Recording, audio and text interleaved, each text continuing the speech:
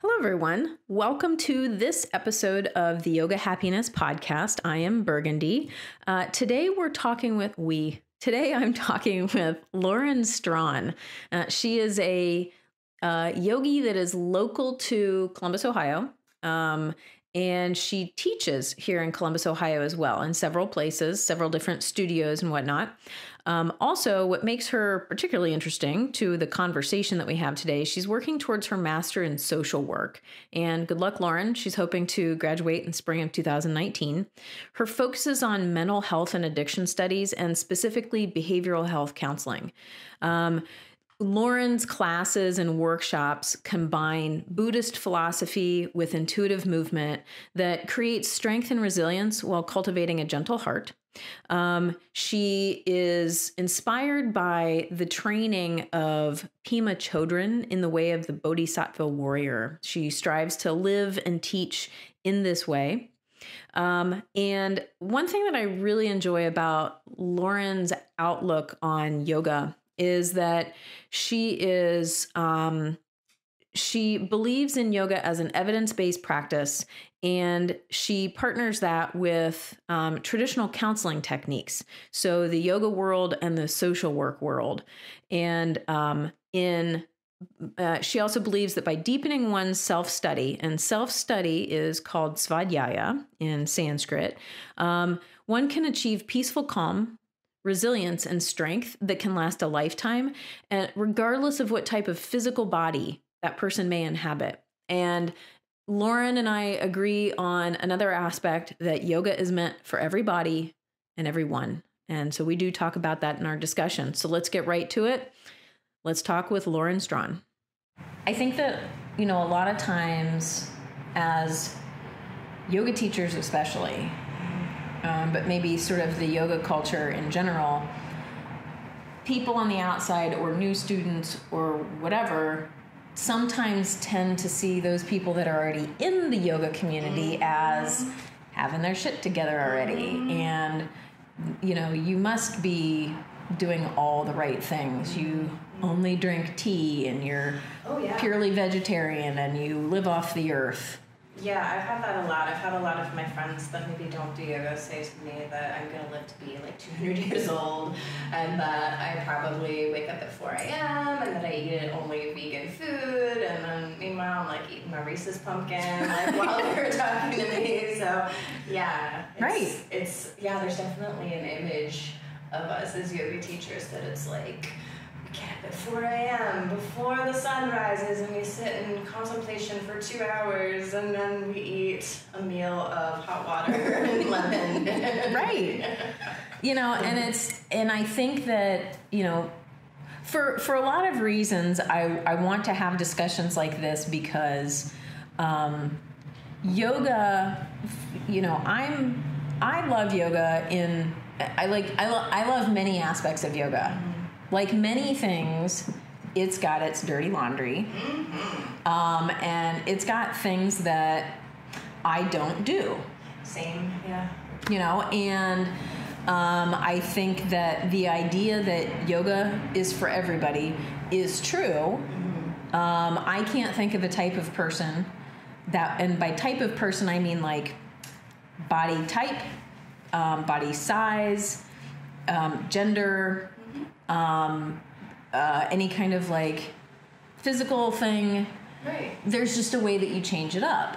Right, and even if you look at yoga as a whole, maybe they're not practicing hatha yoga. Maybe they're practicing some other limb of yoga. Maybe meditation is the thing, or maybe right. self study. There are so many different ways people can get into yoga, and even if it is a physical practice, I think there's something that that probably most people could do, but I think the other piece of that is that they don't believe they can do it because what we're exposed to tends to be like the Instagram yogi yeah. that has a bunch of sponsors and was also probably a gymnast or a ballerina for like 15, 20 years before they got into yoga. Right. So they're coming to it from a place that's different from the average new beginner mm-hmm. and it makes it seem inaccessible. I've had so many people tell me that they can't come they can't come to my yoga class they can't go to yoga they can't do yoga because of their body right. and i've tried to remind people over and over and over that anybody can do yoga. You really can. It's it's not just for the you know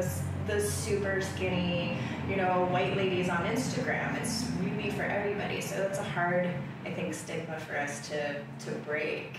Um, I haven't quite figured it out yet. I agree, and I think you know, and it's funny. So just as you were saying that, like the thing that we all say is you know, yoga's for everybody. And I'm just thinking, like, but my God, the word yoga is so general. Yeah. That it's like, you know, and trying to get people to understand, you know, try not understand, trying to educate people on the, all the different things. It takes a lot of time and effort. Like maybe you're an Ashtanga person, you, maybe you're a Vinyasa, maybe you're a Hatha, maybe you're again. There's so many things, right? And um, you, you know, and it's hard. Like, well, then how do you explain how? That thing is best for that type of person without perhaps maybe making them feel bad. I think we've overcomplicated you know? it. I agree. I think the West has taken something that was really simple and we've we've okay, I don't want to go off on tangents. I might go off on tangents. Do it. Time. That's the conversation. But I think that capitalism has made really good friends with the yoga community and it's become an industry. It's like a yeah. multi-billion dollar industry. So we get a lot of people adding their spin on things, which can be wonderful. It can be amazing and you know can create growth within our community. But then at the same time, it's about branding. It's about an image, and that's what people see more than anything. Is who has more money to put into the branding? Who has more money to put into the image? So that's what you're going to see more of. You're probably not going to see more of yogis like us who are just like, hey man, it's all good, like do what feels good. That's, right. That's kind of unfortunately not as much the norm anymore. Which is weird because it didn't take long for it to spiral into this because yeah. my mom's yoga was, hey man, whatever. Yeah. Are you smelly? Are you wearing your pajamas? Great. you know, and now it's Lululemon yeah. and fancy stuff. Yeah, pants that cost like $150. yeah, I mean, when I started practicing yoga, there was actually nothing called yoga pants. There weren't yoga pants. No, I think I wore sweatpants or pajamas when I first started practicing yoga. Yeah. I didn't have yoga pants. And and if I I mean if I'm thinking back enough, like and there weren't necessarily yoga mats, they were sticky mats. Right. Because you just you needed it to be sticky. Right. And that's like one of my biggest like soapboxes is get a sticky mat. It doesn't matter how pretty it is right. or how thick it is. It needs to be sticky. but whatever. But but I agree with you about the capitalism. It's really unfortunate to me that um, you know, and I probably I give Yoga Journal a bad rap, and I th- and I think that and I think that they're changing their image a little bit because so. I've started to see bigger girls, girls with yes. more color, non girls. Yes. Yes. on their covers mm-hmm. because i mean just like everything you know i think that with this whole thing that's even going on in our country politically you know, the idea that if you can see somebody doing that thing, then somebody that looks like you, then you think you can do that thing. Like having the the show Veep, you know, having TV shows where we see female presidents, female mm-hmm. vice presidents, things like that, then you're like, oh, that didn't even occur to me that that could be my thing. Right, that so representation really matters. It really does. In pretty much all aspects, especially with, you know, we've got younger generations that are able to live an entire life with social media at yep. the forefront, um, that's kind of a make or break deal. What what can happen with that? It could be really wonderful if it's approached in the right way, or it could be really devastating. Yeah. I think I think we could see it go one of two ways in terms of body image. I feel like maybe it's improving and that there seems to be a movement more towards body confidence that seems mm-hmm. to be happening but there's still it's still a polarizing thing we have people on the other side of it that are saying no you can't have confidence about that kind of body that's right. not a healthy body so right. it's kind of it's kind of in this place where it's kind of getting a little bit more polarized but it's leaning a little bit more towards body acceptance. So it's like yeah. you, can, you can you can feel it coming and you can see it coming in like these little waves, but then the backlash is always really gross. Yeah. Like if you ever see somebody on um, Instagram who's in a larger body and they're doing yoga, most of the comments are going to be really positive, but you're always going to have those few people pushing back and saying things that are really yeah. inappropriate and gross because that's how they were conditioned. Yeah. It's, it's all in our conditioning. And, you know, and I've had when I in the past several years of having my studio and being on, you know, Facebook and all that stuff, um, I've gotten emails and I've gotten messenger comments to me. Women, I'm assuming women. I think they were all women saying, um, "I've never tried yoga before," and, and, these are the words that I've heard from people. Um, do you allow fatties in your class? What? And and that was. Do you allow it? Yeah, they were asking because they felt that they were overweight. I don't know if I've ever seen any of these people. Yeah. These are these people, I think women, talking about themselves saying, Do you, are fatties allowed in your class? I'm like, and I didn't, because I don't know a person and I'm not going to engage in that kind yeah. of conversation over social media. Right. I'm not going to say, first of all, let's not call yourself a fatty. well, let's get into that first. you know. Let's unpack that one. Right, yeah. I mean, herein starts the, the lesson of yoga. Oh. Let's not call yourself a fatty. Um, but it's but it's distressing to me that yoga has presented itself in such a way that people, women, men too, have to say, is a person like me accepted in that? Oh, I get, I get. Um, it's disgusting. By um, men, especially um, men that are new to yoga, like they're kind of almost asking permission to be there. Like, yeah. is it okay? Am I okay to be here? Which could be a lot of different things. Sure. Could be I, from the Me Too thing. Yeah, I think that that could be part of it. I think some of it is is maybe coming from a from a place of do you feel safe with me here? Yeah. But it almost seems more like a, is my body acceptable here? Yeah. Am I okay? Which I think is coming from the same place, which is which is patriarchy, where men. That's why we don't have as many men in yoga classes. Is because it's still seen as something so feminine, and only you know skinny white ladies do. Which it. is ironic.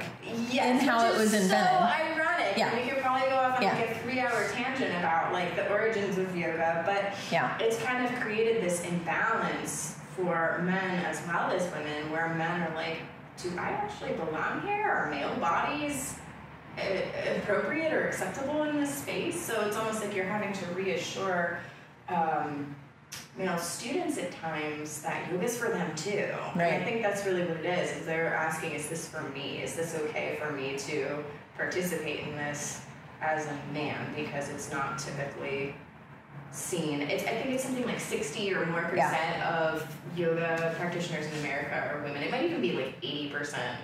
It's huge, it but it's the majority. It's and, the vast majority, and it's mostly middle and upper middle class. Yeah, mostly white. So yeah.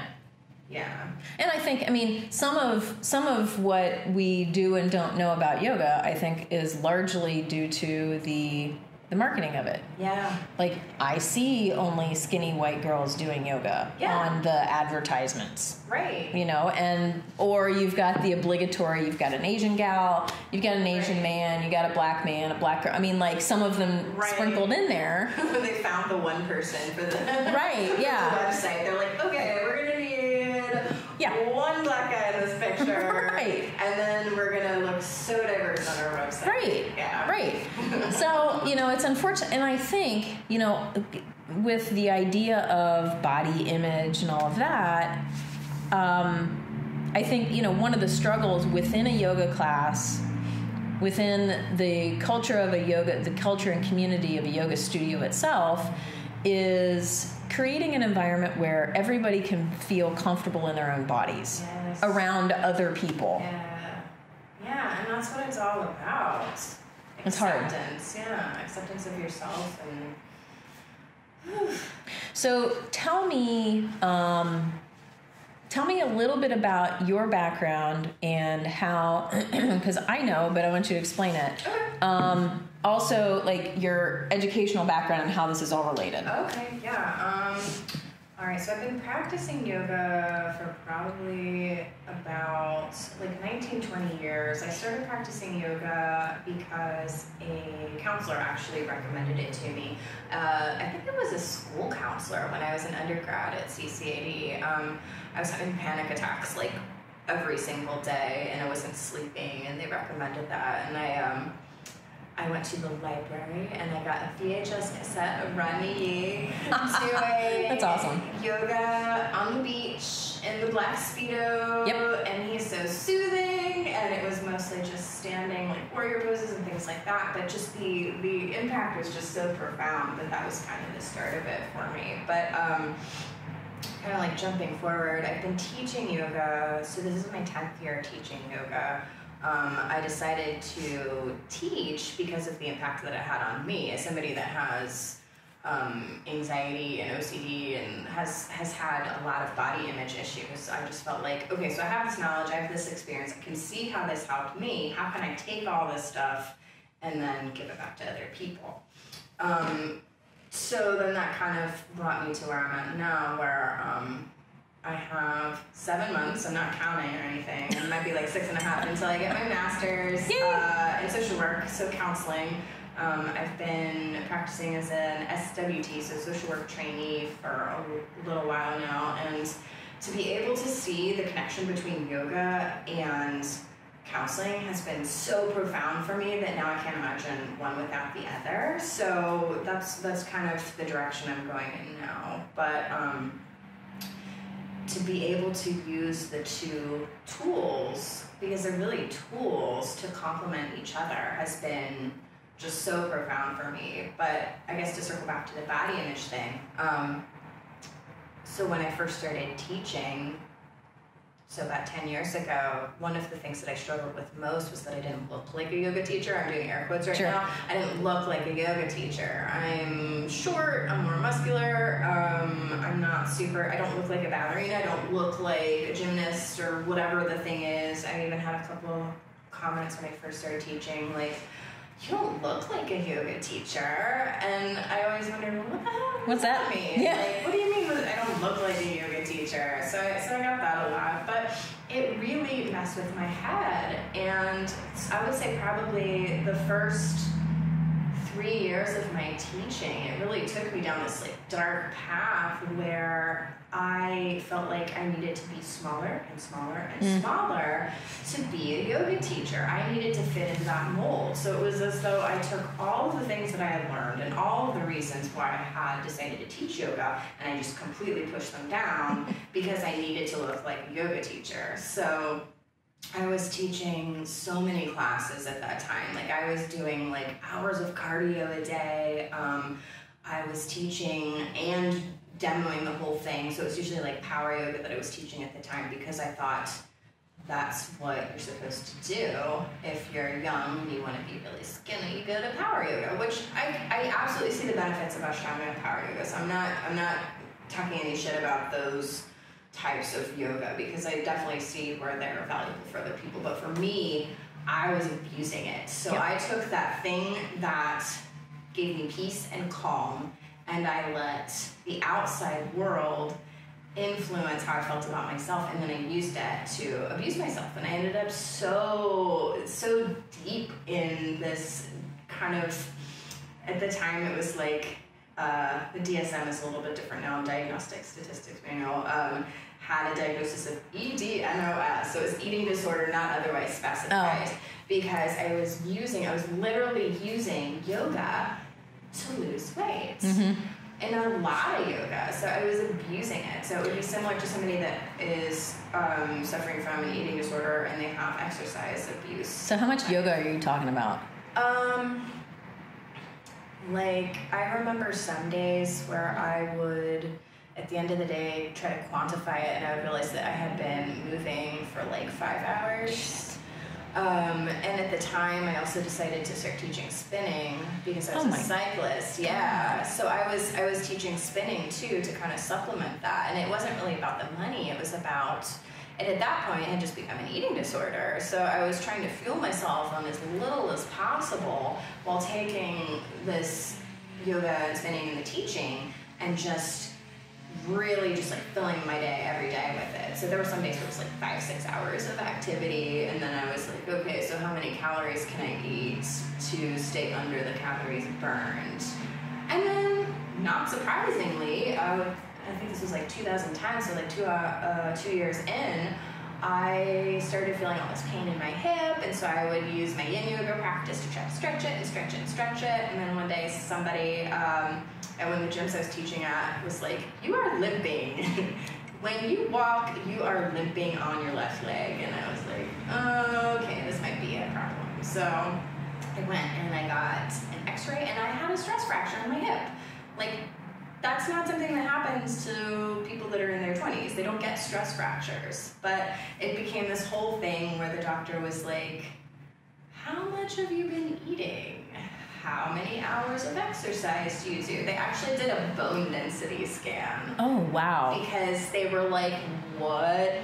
Why do you have, why have you fractured your hip? You're like 29. That doesn't make any sense. So that was kind of my wake up call. I think that was kind of the thing that it took. Um, I will put in a little like plug for the Center for Balanced Living. It's in uh, Worthington.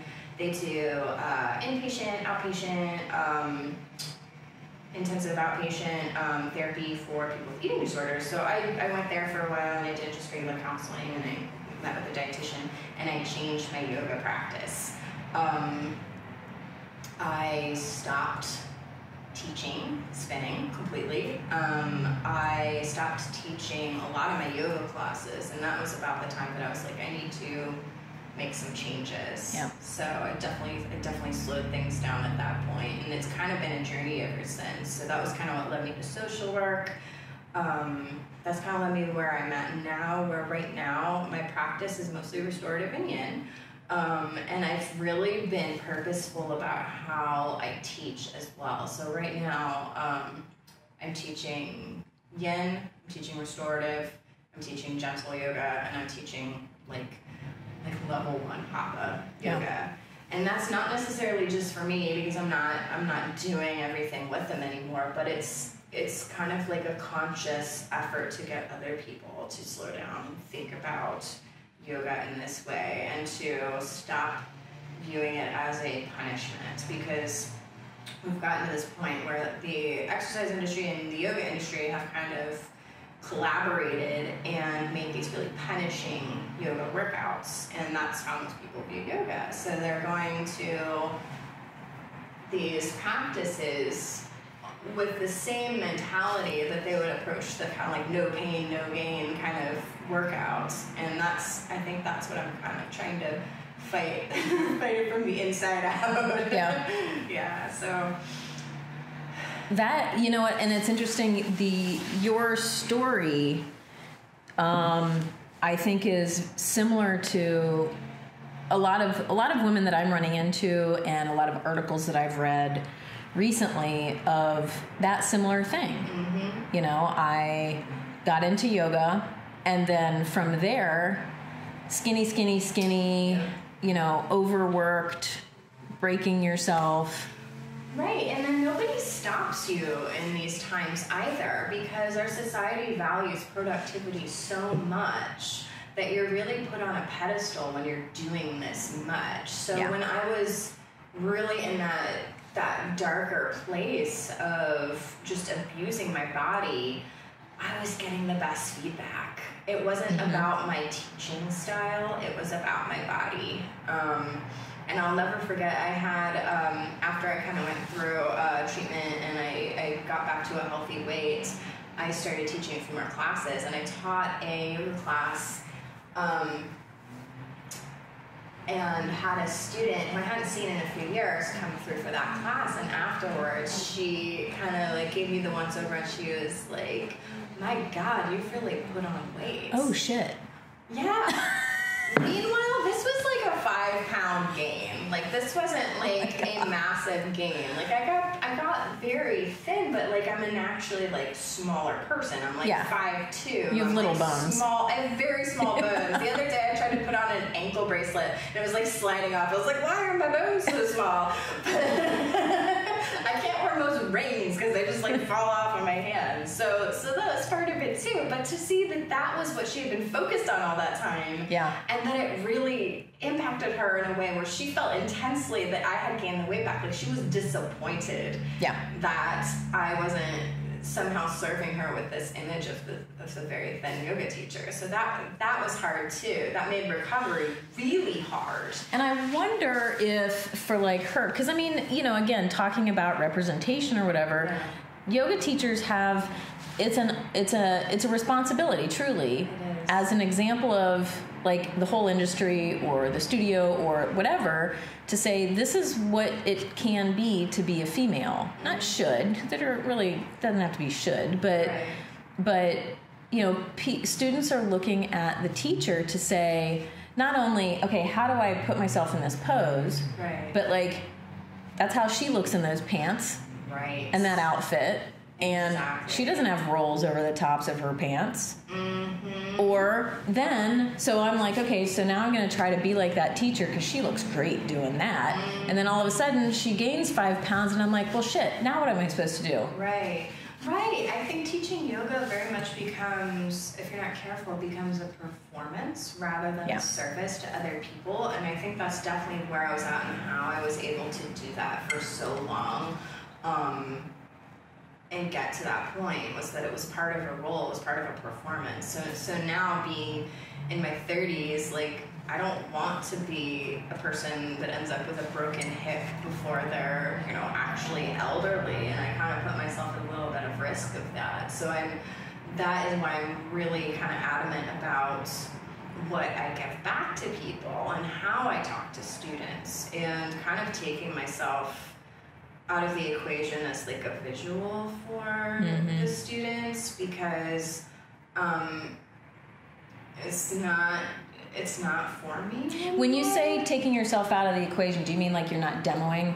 I'm not or? demoing as much. Okay. So if I teach a yin class or a restorative class, especially, I make sure everybody sees how to get into it, so setting up the props and things like that. But then from there, I'm not I'm not necessarily demoing. Like I'm not going to demo um, a big forward bend um, because everybody's obsessed with touching their toes, and that's usually what you hear. Me, I can't do yoga. I can't touch my toes. Then bend your knees. Yeah, I know. Bend your knees. bend your knees. It's like I don't know how many times I yeah bend your knees. If anybody listening has one takeaway, just like bend your knees in a forward bend. Oh my gosh, it'll be okay. but so when I think of that, like, I, oh, to back up a little bit, I have a dance background. So I was a hmm. ballerina, did jazz, tap, all the things from the time I was like five until I was like 18. So I came into it with flexibility anyway. Yeah. And that kind of helped me put on the show when I was younger. And now that I'm older, I don't have the same amount of flexibility, but I also don't feel like I need to showcase my flexibility as yeah. much. Like I'll demo um, when I feel like I have to, but I'm trying to do it less and less and less for my own well-being and for um, the well-being of people that are doing the practice. Because I remember how what a rush I would get when I was first teaching. I'd, I'd demo, you know, some really sweet arm balance, and you'd have at least half the class going, "Oh man, I can't do that," and just hear like a collective groan. And yeah. meanwhile, I'm up there like all this dopamine flooding to my brain, like I'm the greatest. I am the shit. Look at me balancing on my arms. My legs are off of the ground, and mm-hmm. it was just it was it was like an addiction. Yeah. I mean, it was releasing actual dopamine into my brain, so the little reward centers of my brain would be firing up whenever I would do these really cool poses, and everybody would ooh and ah, and that wasn't the point. Right. So I don't honestly, I don't even teach arm balances anymore. I do occasionally, but like for the types of classes that I teach, and this was also purposeful, I want to, as much as possible, get people to take their ego out of their yoga practice. Yep. And that's, I think that's part of it too. Because I think ego is part of what's led us to where we are now, where people like myself think they have to be like a negative zero in their yoga pants and so skinny and just gaunt um, to be a yoga teacher. So it's just ego. Yeah. I think it's interesting. Um, so I, I wasn't entirely sure what your age was, but I but it but it's interesting the way that you I mean well not the way that you tell your story, but your story is interesting to me because you're only in your 30s. Yeah. And you've come to this conclusion about the things that you've done to your body. Yeah. And where and how your yoga needs to change because um, the story to me sounds like it should have been oh my god after 40 years of doing this kind of thing now i'm finally coming right. around to restorative and yin mm-hmm. But so like for example jessie miller you know she's saying the same things Right. like you know i'm coming around to teaching Yes. you know this is what people need and it's like I love that. yeah these women that are 30s early 40 i'm 42 you know things like that where it's like you know we're not you know retirement age No. we're not you know it's not we're not at that point in life where it's like oh i'm just gonna sit and knit but that's kind of like Right. for me this is kind of that evolution of kicking my ass for 40 years and Right. now but it's happening sooner Right. Um, I think for for me it was again that combination of counseling and yoga. So whether I was involved in counseling or even just in my own studies and and what I'm doing now just as I learned more about mental health and I've learned more about yoga and what that means to me, those two things have really kind of mirrored each other and have just, it's almost been like an amplifier one for the other. And I think for, for myself at least, um, things like going to get therapy, you know, at the Center for Balanced Living, and then kind of, I think everybody should go to counseling, honestly. Like, I don't think that that's one of those things where it's like, you gotta be so far gone to go to counseling. I think everybody can benefit from counseling, especially if you've got a, a yoga practice, because stuff's gonna come up. yeah Like stuff is gonna come up. You probably everybody's probably been in a yoga class where somebody's crying on their mat uncontrollably Yeah. in shavasana. Um, especially women. There's just so much trauma. There's so much. There, we're just like holding on to so much that I just think that everybody should go to counseling. But that's my little soapbox for counseling. But I think those two things have informed each other for me and have led to just this.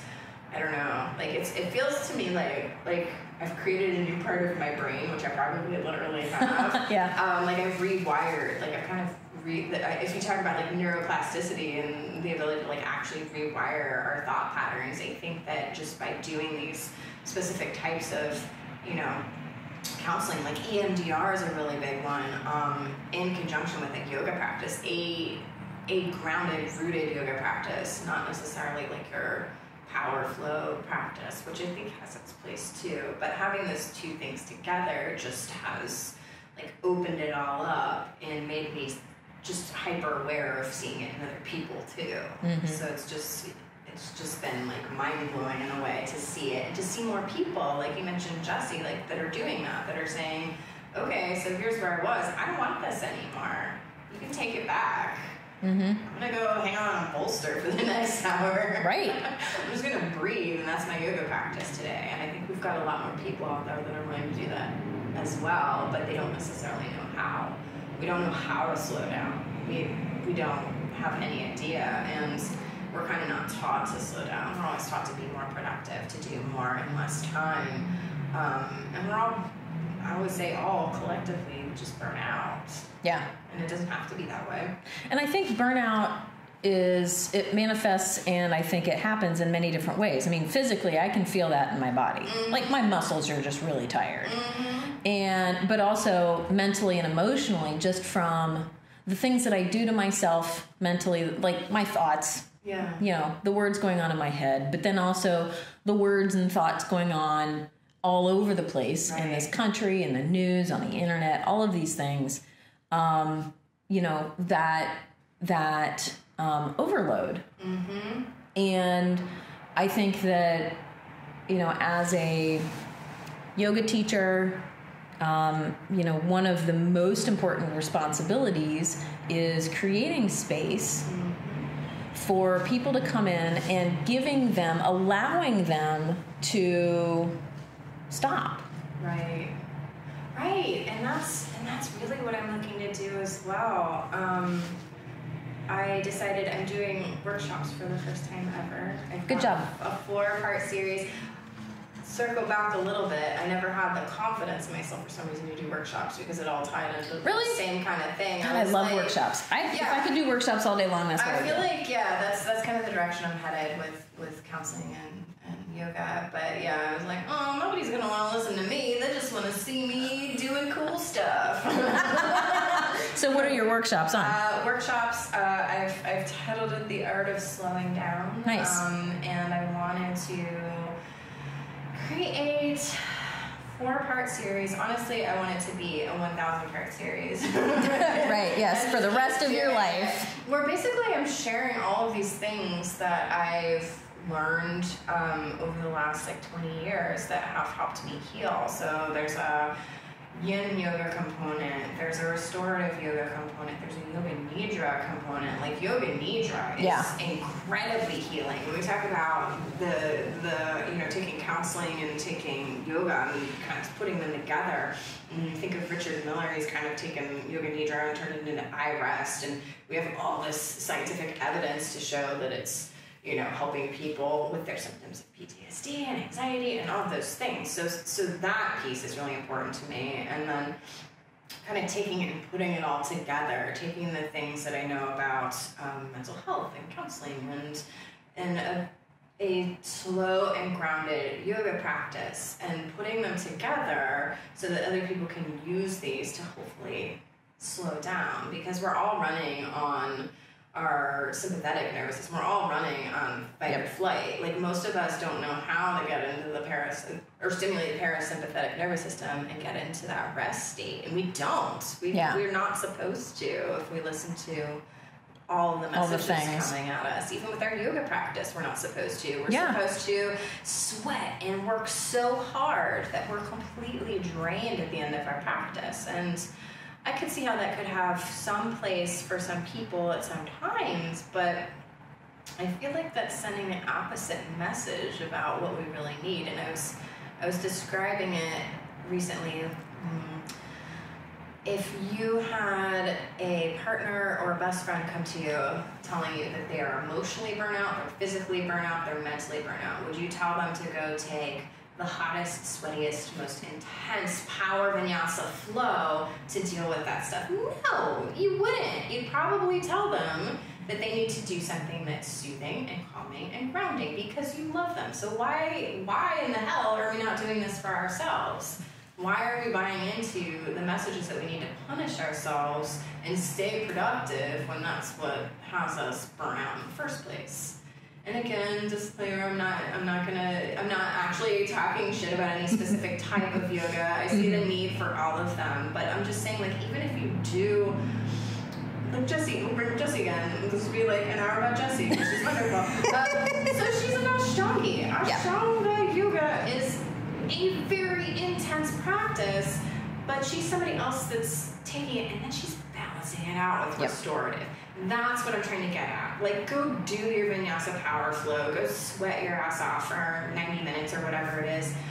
But don't do that every day. Right. That's putting your body in a lot of times this state of overdrive. So you're you're building more adrenaline, you're building more cortisol, you're you're building up all these things that are just going to keep you tired. So you're you're going past even a lot of times, especially if it's a very heated, very powerful practice, you're going past your aerobic threshold into your anaerobic threshold, which we're not really even supposed to be in that for very long either. So if your heart rate is elevated to that level for 90 minutes and you're not balancing it out, with a restorative practice, you're putting you're actually putting your health at risk. And I think that that's not something that we talk about because it's like a badge of honor to say that you're doing this every day. So yeah, that's yeah, that's where I'm trying to break some stuff up if I can for myself, and then for other people as much as I can too. Um, can we do some vocab here? So you brought up EMDR. Yeah. What's that? So um, eye movement desensitization reprocessing. So it's a type of therapy method that involves bilateral stimulation. So bilateral meaning two-sided, bilateral stimulation of the brain. Um, and that can be done with light. So maybe you get a light box and the light is bouncing back and forth to a very specific pattern. Um, maybe it's through sound, so you might get just like a beat going from left to right to left to right. Or some some practitioners will even actually like tap on your knee, so left, right, left, right, left, right. And then as you are getting this bilateral stimulation, you are going through whatever trauma or feeling or thought about yourself that you have in your mind. So you're not actually talking. So as this is happening and you're going through this, the bilateral stimulation is helping you to reprocess the either the event or the feeling or belief about yourself. And it is clinically proven to work. So it's an evidence-based practice. So social work, we love our evidence-based practices. Um, so it has a lot of research for PTSD, for people that have um, experienced combat. Um, I read one study that was saying that um, as little six sessions, that some of the veterans that were involved in some of the testing were not meeting criteria for PTSD anymore. Um, that it was actually helping them to reprocess their trauma in a way that it took it, it basically takes its power away. So it doesn't erase the memory, it doesn't erase the feeling, but it takes its power away through that reprocessing. Um, and it's it's very strange. it's a very strange. It's so simple. Experience. Yeah, it seems like it should be some kind of like woo kind of thing where yeah. you're just like yeah sitting in a room while somebody taps on your knees or yeah moves their hand in front of your face. But this is evidence based. Like we know that it works, and and I've and I've done it, and the effect is is profound. Even in one session, it's just it's just amazing, and everybody I think that knows about it thinks maybe it's specifically for trauma, but it can actually be used for negative beliefs that we hold about ourselves mm. as well, which is another thing that I think we're we're talking about, like big picture with this too, is like how do we view ourselves when we think about our yoga practice. So if we're coming to yoga with thoughts like I am not enough or I am too much, I'm not good enough, EMDR can help you kind of look at these things, determine where they came from, and kind of reprocess it. And it actually leads your brain to replace that negative belief with a positive and reality based belief because most of the stuff going through our head is, is if you go with like cognitive behavioral therapy, they're really big on like cognitive distortions. Mm. That most of what we think is just a distortion. So it kind of takes that idea and it kind of flips it and gives it a positive reframe. So that's I guess a big plug for EMDR. yeah, I first um, I read about it. So I've had several people recommend the book. The Body Keeps the Score. Oh, yes. So I finally read it. Yes, yes, yes. Holy cow, that was life changing. Yes. Um, Everybody should read that yoga practitioners, everybody should. Yeah. Anybody, we've all experienced trauma. Yeah, and I think that you know, having read that, and also over the past, I would say probably five five years, I've um, listened to TED talks, read articles, various things about, and I think you and I have talked about like the, and, and even in this book, it's talking about the idea that I mean PTSD as a diagnosis, air quotes, is I mean it's not it's not specific enough it's not good enough anymore. No. And so many things get rolled into maybe the idea of trauma mm-hmm. but but there but you know and he talks about in the book like so many different kinds of trauma and this right. kind can be treated by medication perhaps but this one can't the same right. thing doesn't respond the same way so i think that's fascinating right and another piece of it that's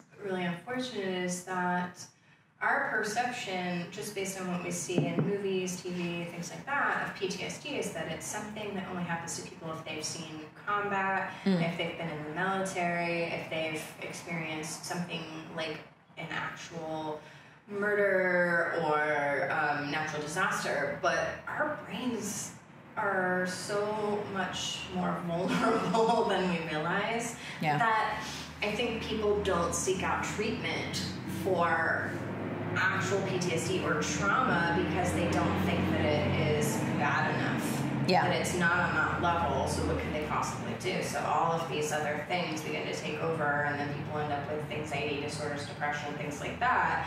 And it all stems from depression. I would say, yeah. in in terms of like the, the counseling that I've been doing, I would say everybody whatever they're coming in for. It always stems from trauma. And yeah. most of the time, when people come in and they fill out their intake paperwork, there's a question that asks, Have you experienced any trauma, significant trauma?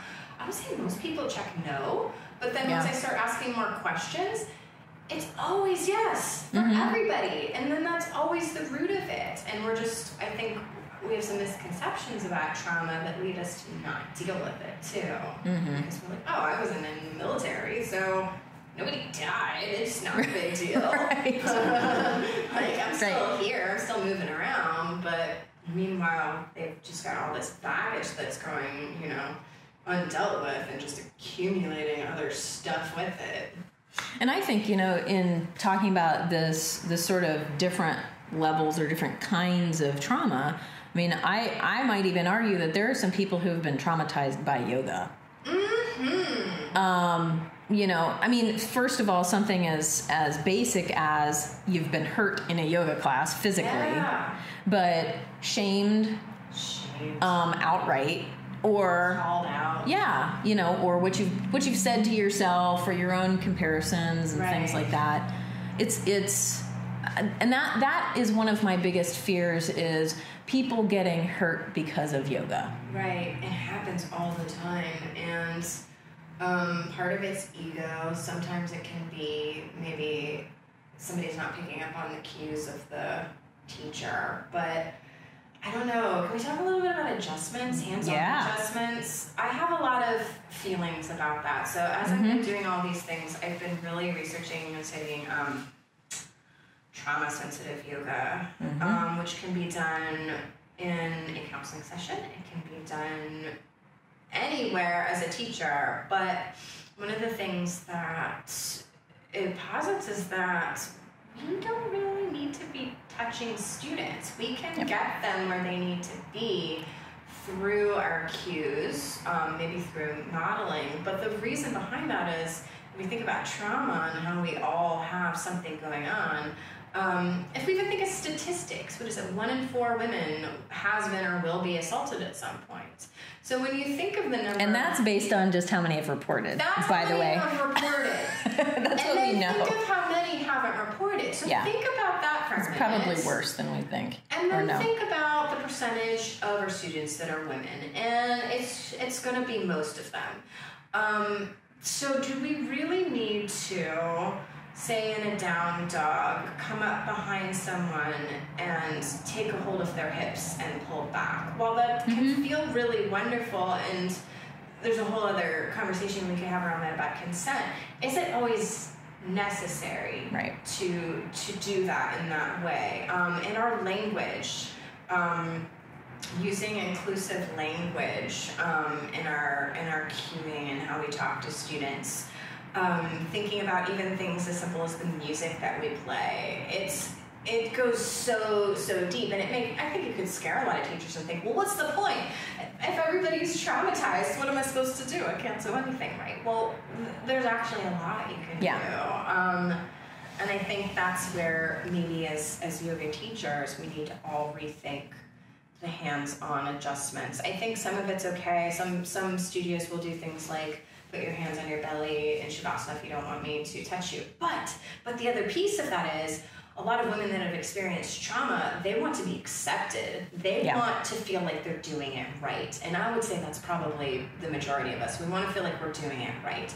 So if they're given the option of getting a physical adjustment and not getting a physical adjustment, they may be going for that physical adjustment because they want the validation. Yeah. And they may not feel safe in their bodies with that adjustment, but they're going to do it because they're going to feel that acceptance from the instructor and that's and that's that goes really deep that's a really great point because i remember um, you know when i because and I'll be very honest, I've always been honest with my students and with everybody. Um, prior to actually opening a studio, I probably went to like five classes. Mm-hmm. I my practice has always been at home. Yeah. And when I went into a class, um, you know, the go right ahead if you want to eat that. Um, the, you know, large classes or whatever. For me, I felt um, I don't know if the word validated. I don't know if it was validated, possibly, but I felt accepted, included.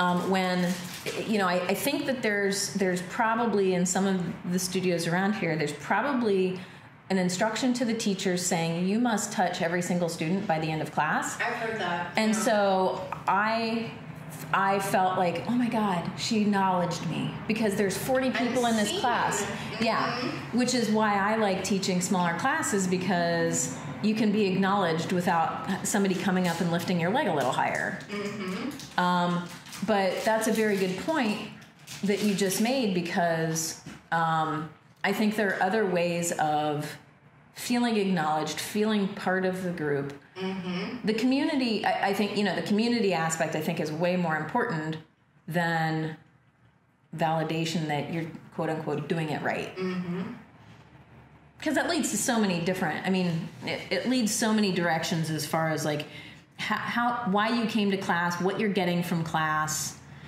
how you exist in a class mm-hmm. if you're mm-hmm. trying to make the teacher happy if you're trying to prove yourself to other people um, but then there are also the, also the people that feel like well if the teacher came up and touched me that meant that i was doing it wrong Oh, absolutely. That's how I felt when I first started practicing in studios because I, I had a home practice for probably like mm, five or six years before I started practicing in studios. And um, if I was uh, adjusted, I automatically took that to mean that I wasn't doing it right and yeah. that I was not as um, I wasn't as good at yoga. Like I wanted to be good at yoga in the way that I was good at dance. So I took the two mm. things and I kind of smushed them together a little bit. And I think a lot of people do that.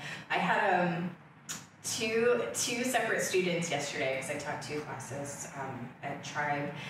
And in each class, I had a new person say to me that they were embarrassed about coming in to take class because they either hadn't done yoga in a while or they were new to yoga. And I was yeah. like, don't, I said, don't let anybody be a yoga bully to you. And that, yep. first and foremost, means you do not yoga bully yourself into yeah. feeling like you need to come in here and do everything perfect. Nobody's coming in here to do everything perfect.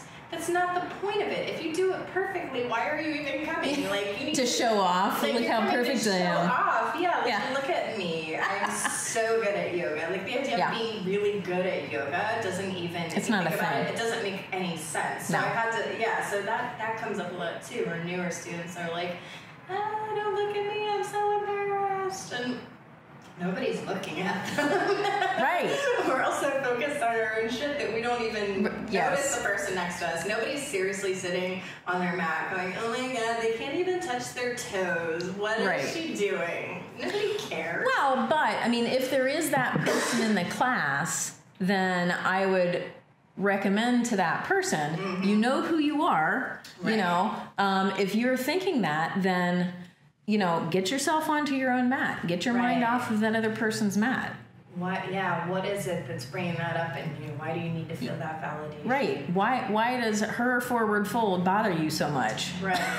right. And I've kind of as a yeah as a teacher, like I I care a lot less about how anyone looks mm-hmm. in a in a particular shape um, when I first started. I think just because a lot of us do when we're newer, I felt like I needed everybody to almost like micromanage their shape. Yeah. Like aesthetically pleasing yeah, and all triangle, that. Like bring your hand up further, you know, take that foot in a little bit, take that foot back a little bit, and just nitpick the hell out of their whatever they were in. And now I'm kind of at this point where I can look around and I can say, okay, so it's a little wonky, but I'm not yeah. going to say anything. Right. Because they're not going to get hurt. Yeah, that's my number one goal. They're struck exactly structurally. It's okay. It's fine. Yeah. It's fine if their hand is facing the wall instead of the floor. Whatever. yeah, right. You know, and that's you know, I was actually just talking to a student in my beginner class on Tuesday. Um, you know the idea of should. And i you know i like to say like there are no shoulds in yoga. There are shoulds in anatomy. Yeah. You know it's like for proper alignment just so you don't hurt yourself. Right. like let's keep your knee over your ankle. Yeah i was gonna say you shouldn't internally rotate your knee yes. warrior. yes protect your damn knees um you know and things like that. But but other than that like feel feel the pose. Right. don't do the pose for me this is for you and your body, and your body is different than my body. Right. And, you know, and your intention right now is different than my intention. Mm-hmm. Yeah, and then there's like a stigma for some people around using props too. It's like Yeah. you can stack those blocks How's the to Lord? the ceiling. Use them all. I'm buying more props because I don't have enough for the studio, I and I only hold seven people in here. Christ. three bolsters for that board, shit. I don't care. Yeah. if that's what you need. Do it. It's not about me. So, so I yeah, I feel like I I try really hard to make sure that people are aware of to try to drop the ego about Yeah. this stuff. Yeah. And it's so hard and I still do it.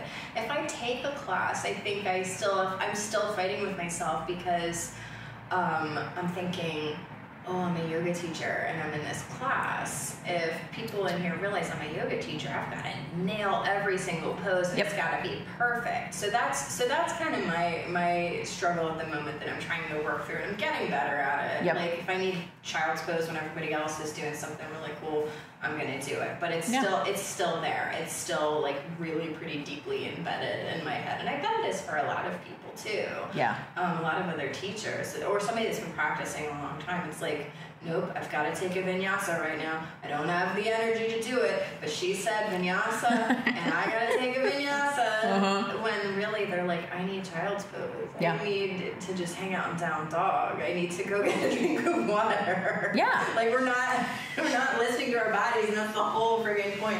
and I think you know, and I think it is it is such a fine balance of trying to get people to find to communicate with themselves to understand. You know, like we we always talk about like sit with the discomfort. yeah. Okay, well, I hope you have an understanding of the difference between discomfort and pain. And injury is pain.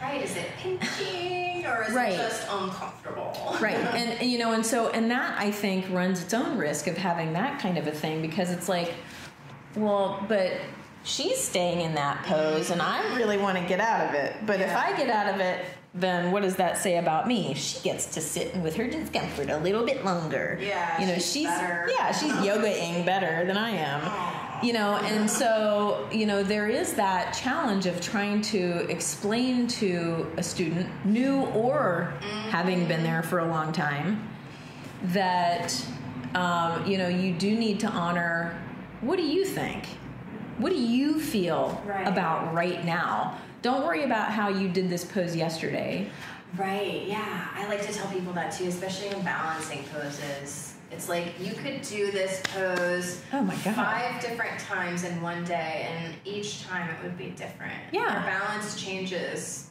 probably by the minute. Yeah.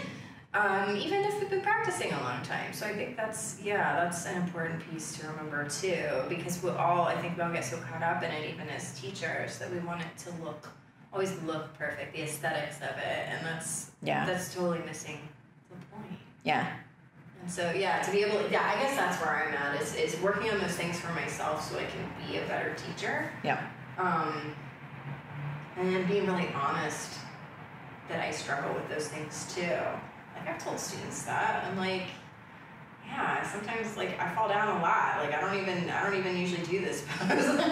right like my hips are too tight to do this one, so I'm just gonna describe it to you. right you know oh and that's yeah when i was when i was first getting started i remember there are all these i don't want to call them scams because i don't really know what they are but anyway there are these these people who have mostly women who have these sort of online businesses where they can um, consult with you on how you should be a teacher and so on and so forth and so i so, and they're making gobs of money doing it Yeah. um, so I set myself up for a 15, 20 minute conversation with this woman. And for, I, I left feeling like shit. And like, I'm still scarred from the things that she told me. Um, like, you know, the number one thing is, you know, well, you need to do the pose before you can teach it.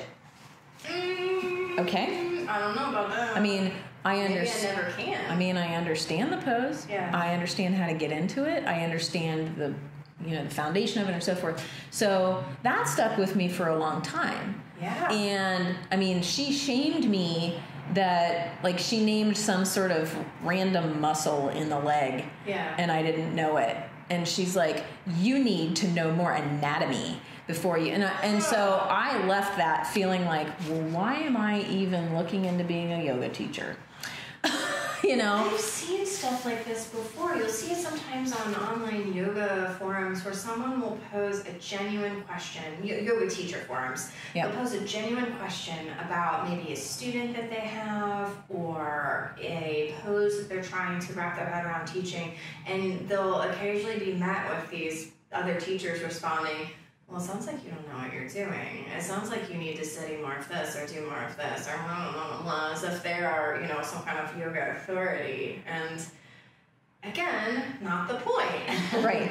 and as a, as a community of teachers, I think we're really disjointed and disconnected from each other. And I, that is, I find that really painful because I feel like I think this conversation, conversations like this are amazing and wonderful and beautiful, but they're, they're not happening very often. Like we could, we should be helping each other. I mean, I understand, and then capitalism plays in, and we all need to make our money and pay our sure. rent and things like that. But but how can we how can we take this and support each other? Because if you and I are sitting here talking about these things, other teachers other people are. are. Are, thinking about it and they might not know how to verbalize it or, or they might feel really alone and quit teaching. Yeah. Like how many people do you know? I know a lot, maybe you don't know as many, went through a teacher training and then never taught a class. Oh, lots. There are so many out there and they feel unsupported. You're kind yep. of on your own little island as a teacher a lot of the time. Even if you get in at a studio, you might not necessarily see other teachers or have those connections right. unless you really go out of your way to do it. Right.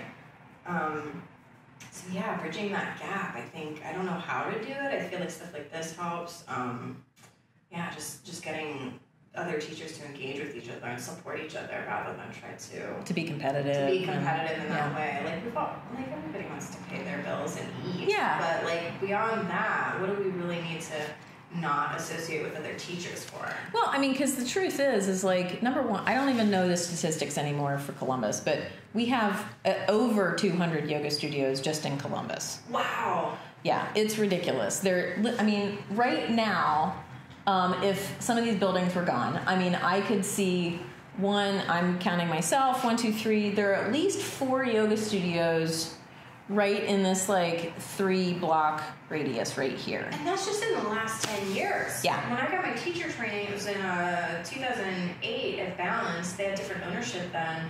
And we were one of the only studios in the area at that time. Yeah, Balance and Yoga on High, they're, yeah, you know, like the, the oldest. The OGs. The OGs, yeah. yeah. And I mean, they've changed and have gobs of locations. And yeah, then since then, yeah. you know, there's, there's, there are a ton of yoga studios all over the place, which means there are a ton of yoga teachers. There's a lot. All over the place, which, you know, yes, I think there's an argument to be said that probably there are a lot of people that have gone towards yoga teacher that maybe didn't need to. Right. Maybe they thought that was the next step. I mean, there are also a lot of training. There are a lot. I have a problem with. there are some teacher training sessions that are also geared towards quote unquote deepening your practice.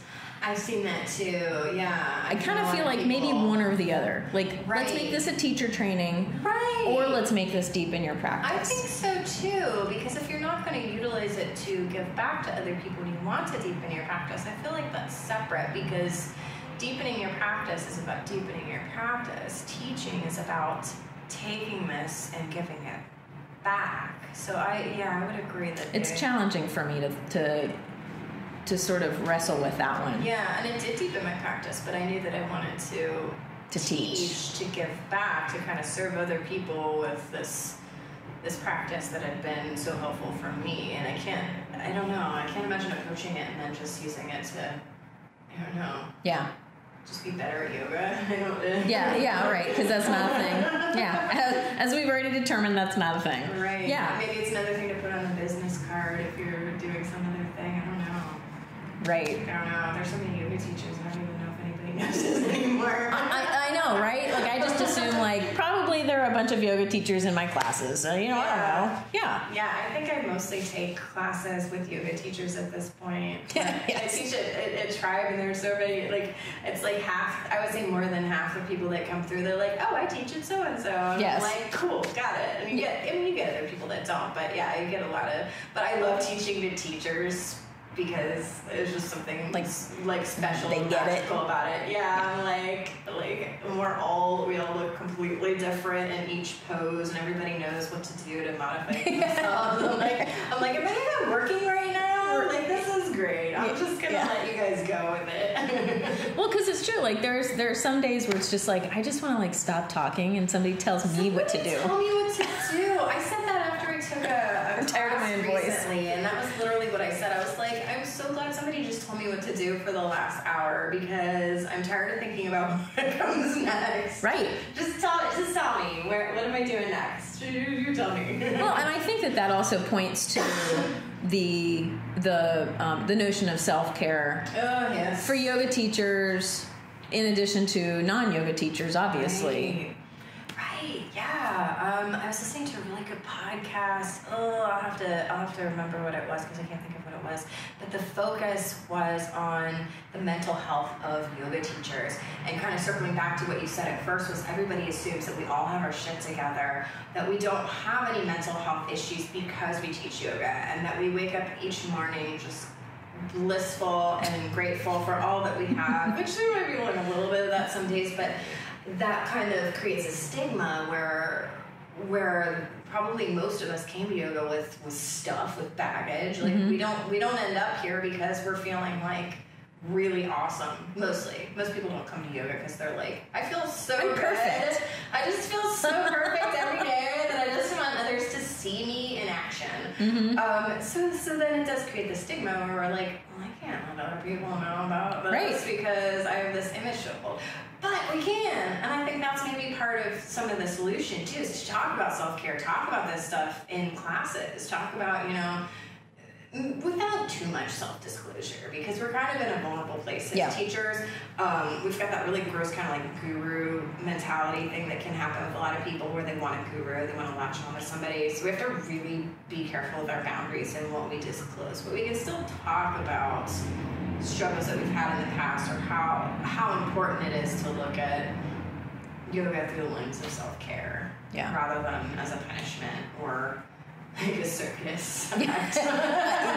yes, yes, it's true. I mean, there are some days where I come in and I'm like, I feel like a shit show. yeah, yeah. But then sometimes just seeing other people and being able to, you know, get them through their own shit is like mm-hmm. the gift in itself, even if we're not like, I don't know, making millions of dollars, which I'm always skeptical of yoga teachers that are making millions of dollars.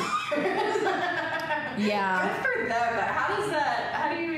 Right. Uh, yeah. How does that happen? I feel like that's too much work. right. Yes. Yes. Um, uh, yeah, uh, I think we've talked about a lot. I don't know how to recap all of that. Do you need to? I don't think we need to. Because I think people just listen to it. Yeah, I think, just like, yeah. Those are great ideas. If you need to recap, right. listen to it again. Yeah, give you guys homework. With counseling, um, I always give people homework. I don't get to give people yoga homework.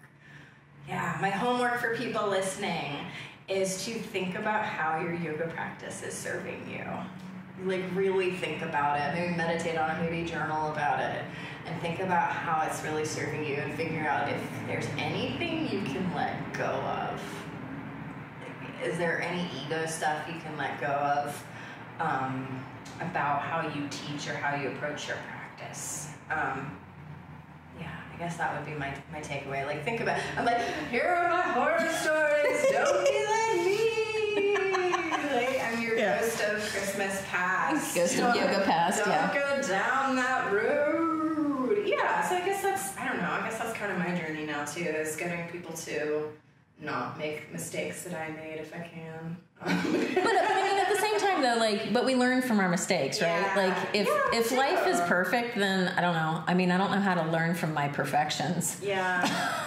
uh, it would be really good, though. Right. yeah. Yeah. And, and this morning, one of the things that I re re-shared on Facebook, one of my friends posted a clip of a TED talk talking about, you know, what you really need is a coach. We all need a coach and this this guy was a surgeon and yeah. and just the idea of you know you may think that you're an expert but the best people everybody needs somebody to look at them and yeah. help them. Mm-hmm. Yeah, we shouldn't have to. Feel, I feel like that's kind of our mentality in our in our country too. Is that we're very very focused on looking out looking out number one yeah. being an individual pulling yourself up by your own bootstraps. And we look past the idea of community because we've kind of gotten ourselves to this point where we feel like we need to solve our own problems we're the only one that can do it we've got to walk it off and then we're neglecting this really important piece of ourselves and the fact that we are designed to be parts yeah. of communities. We're social animals. Yeah, we're supposed to. We need each other. You know, yoga teachers need each other. Um, counselors, every counselor probably has a counselor or should have a counselor. Yeah. If you're I would even I would even go so far as to say yoga teachers should probably go to counseling once in a while too because we're absorbing um, a lot of stuff sometimes yeah. too, and we're dealing with our own stuff. So just to have that person, that kind of like outside observer, not rely on pulling ourselves up by our yeah. straps all the time, I think is really important too. Yeah. Well said. Well, thank you. And now we're gonna do a Thai yoga massage. I know, self care. Yay! Well, thank you for listening or watching. I hope you enjoyed that. If you did, please click like or subscribe and also consider becoming a Patreon patron.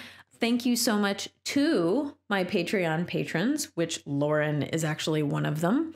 Um, thank you to Chris and Nancy and Lauren, Athney. Uh, where am I at? Okay. Um, Jeremy, Vince, Marianne and Anne, our newest. Thank you so much. I hope to make you proud with all of the things, all the content coming up soon, uh, as I've promised and will deliver. I will be offering free streaming to Patreon patrons only. These past few weeks of getting used to the new studio and the space have been not only just to figure out how to be in it, but also after having had several classes now, I'm getting a better idea of where I'm going to put the camera for the streaming class. So, um, hopefully, we're going to have that up and running soon. So, thank you so much. Have a wonderful rest of your week. Bye, everyone.